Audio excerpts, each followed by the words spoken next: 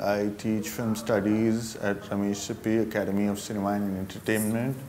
Uh, I've been teaching here for almost five years now. That's almost half a decade. My experience with the students has been uh, extremely invigorating, fresh.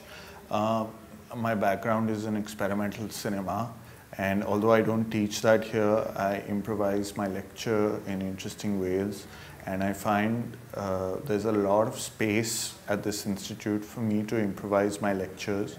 The students are extremely receptive to new ideas, new ways of thinking. Uh, I look forward to my lectures. They're usually on Wednesday early in the morning. I really look forward to them uh, as to how I can uh, help the students Uh, try to realize themselves through film.